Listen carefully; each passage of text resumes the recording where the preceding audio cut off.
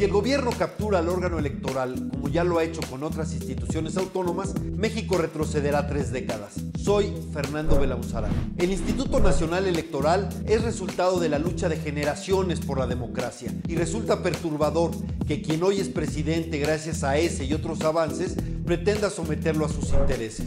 La transición democrática iniciada a fines del siglo pasado, con sus fallas y limitaciones, mejoró significativamente los procesos electorales. Sin duda quedan pendientes y en ocasiones la autoridad pudo hacer más, pero el riesgo que se cierne sobre el país es el retroceso autoritario. Andrés Manuel López Obrador, una vez que llegó al techo subiendo por los peldaños de la institucionalidad democrática, quiere tirar la escalera para que nadie pueda hacer lo mismo.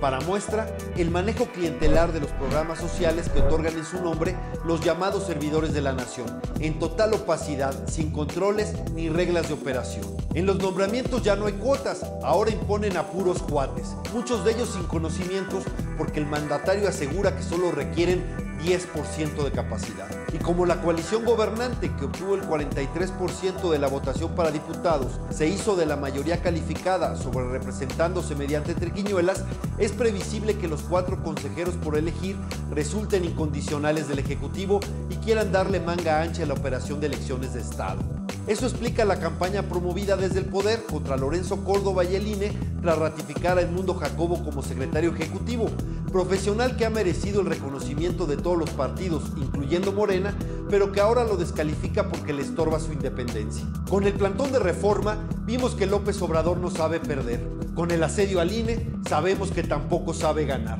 Soy Fernando Belauzarán y si te gustó este video, compártelo en tus redes sociales.